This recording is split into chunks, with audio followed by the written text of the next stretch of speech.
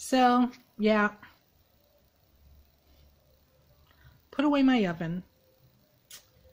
Mm, decided that my office slash studio was way too small and was a fire hazard. Well, possibly. It was just too, it was way too hot in there. It was so hot. I mean, you saw what my hair looked like, you know, with the humidity this summer. Like, who, it's ridiculous. So I put my oven away. But I decided to go raw. I decided to get my Kato clay and work with it raw. And you know what?